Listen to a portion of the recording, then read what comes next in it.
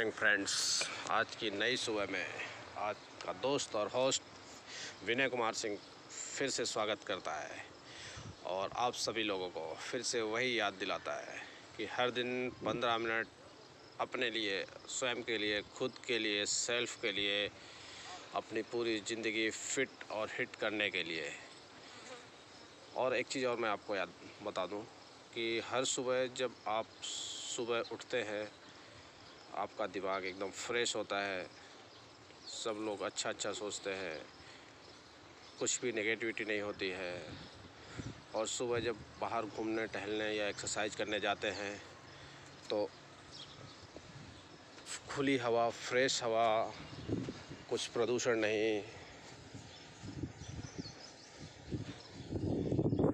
अच्छी सी फीलिंग महसूस होती है। और ये तो आप सभी लोगों को भी पता है कि जब हम कुछ अच्छा फील करते हैं तो हमारे चारों तरफ़ का वातावरण भी हमें अच्छा दिखाई देने लगता है।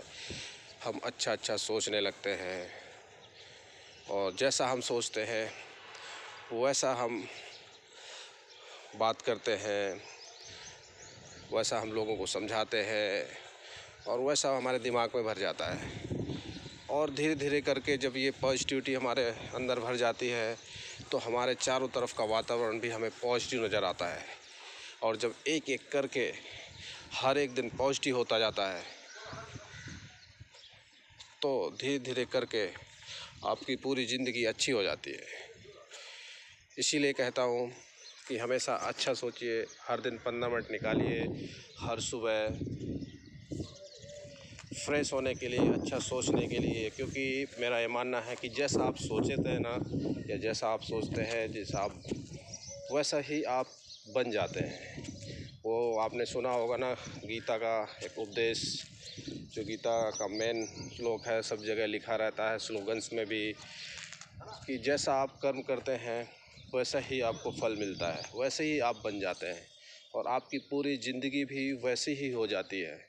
इसलिए बोलते हैं या कहता है, या मैं आपको याद दिलाता हूँ, या समझाता हूँ कि अच्छा सोचिए और अच्छा बनिए। क्योंकि ये मेरा मानना है कि जैसा आप सोचते हैं ना, वैसे ही आप बन जाते हैं। इसलिए आज के लिए इतना बहुत है और इन्हीं शब्दों के साथ मैं अपनी वाणी को विराम देता हूँ। अगली सुबह फिर से मिलते हैं। Good day bye bye